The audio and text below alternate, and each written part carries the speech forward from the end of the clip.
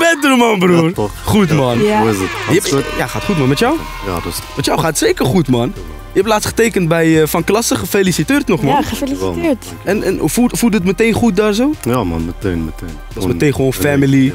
Maar vaak wanneer, weet je wel, mensen zeggen altijd, ja, ik, ben eindelijk gesigned. Weet je toch, dat hele hype over, over Mm. tekenen bij een label. Mhm. Is het echt zo groot of is het meer... Want wat voor contract houdt, dat, wat houdt zo'n contract dan precies in? Dat is gewoon normaal man. Ik, eh, ik werd geappt eh, van eh, kom je vandaag tekenen? Ben ik aangereden. Je bent aange- aangereden? Ja, aangereden naar. Oh, dat is Oh, Brabant. die Oh, aangereden. Oh, ik Ik al. denk al, Wij ja. denken gelijk, weet je toch, twee auto's op elkaar geknald. Nee, nee. Kom eraan, Ik was ik gewoon meteen vertrokken. en, eh, Oké, oké. Maar heb je dan niet bijvoorbeeld, eh, vaak tekenen ze bijvoorbeeld een album of zo, of een, een, een albumdeal, weet ik veel. Is het niet zo'n deal? Het is gewoon van Klei, is het doen bij Van Klasse. Nee, ik heb wel een deal voor een EP en een album. Oké. Dus het eerste wat we van jou kunnen verwachten, dat is een EP'tje. Nee, ik ga sowieso eerst een paar singles uitbrengen. Ja. Ja, en ik heb sowieso tracks klaar liggen voor een EP. Dus ik ga binnenkort sowieso binnen, binnenkort beginnen. Over track gesproken, volgende week komt eh, de clip eh, Bordeaux uit. Mhm. Ik heb net Klopt. al een beetje eh, al sneak preview gekeken, een Ja? beetje, ik heb een beetje gekeken Ja, man. wat sneaky, Hij, hè? za- hij, zag, hij zag er dik uit man, hij zag er dik uit. Ja. Maar wat bedoel je met Bordeaux? Ik, ik, ik snapte het nog niet helemaal. Ik, heb een, ik heb een line in die track. Ja. En, eh, daar zeg ik, oh, je torso wordt Bordeaux. De kleur. Bloed. Ja, Gewoon je? Oké. En, en eh, Esco zei van, ja man, die moet wel Bordeaux eten. Ja toch? Toen is het Bordeaux geworden. Want het is ook op een Esco beat gemaakt toch? Eh, je zei eh, volgens mij ook een keertje ergens in een interview, Esco die tikt zo pap pap pap, pap. Heeft Ja. is, het, is het fijn samenwerken met Esco? Ja man, het is gewoon... eh, de eerste keer dat ik bij hem was, heb ik meteen Bordeaux gemaakt. Gelijk, het was de allereerste keer. En Serieus? hoe neem je op? Doe je ook lijn voor lijn of doe je, schrijf je Nee, het eerst man, helemaal ik, doe uit? eerst, ik schrijf eerst alles. Dan ga ik kijken of het goed is. Laat ik het Esco horen en dan gaan we tapen. Het is echt uitgewerkt en over nagedacht. Ja, ja, ja. Maar hoe bepaal je dan zeg maar wanneer iets uitkomt? Want je zei bijvoorbeeld een tijdje terug dat je bezig was met een track mentaliteit. Ja, klopt. Daar heb je ook stukjes in waar je, een beetje andere kant, een beetje zingen.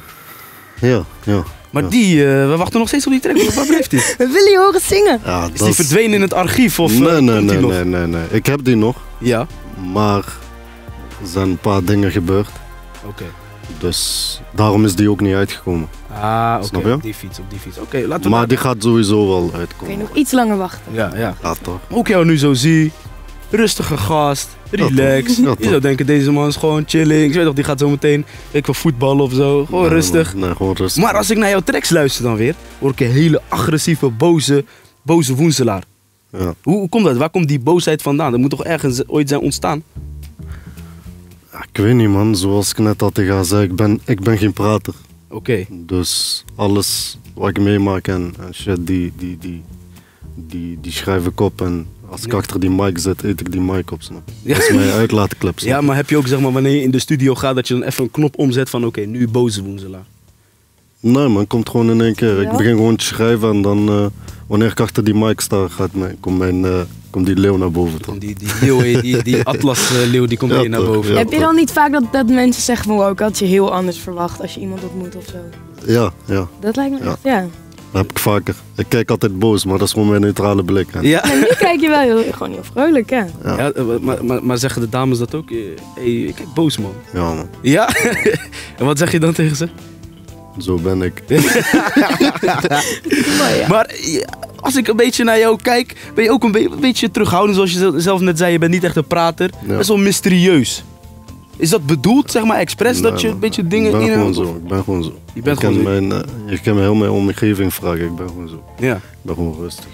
En heb je niet het idee dat als je, omdat je artiest bent, dat je nu een soort van verplicht bent aan je fans om dingen uit je leven te delen? Mensen vragen waarschijnlijk van, Nee, juist niet. wat? Wat privé is, is privé. toch? En dat ga je gewoon zo Ja, houden. privé en dingen zou je gewoon gescheiden. ja, tuurlijk.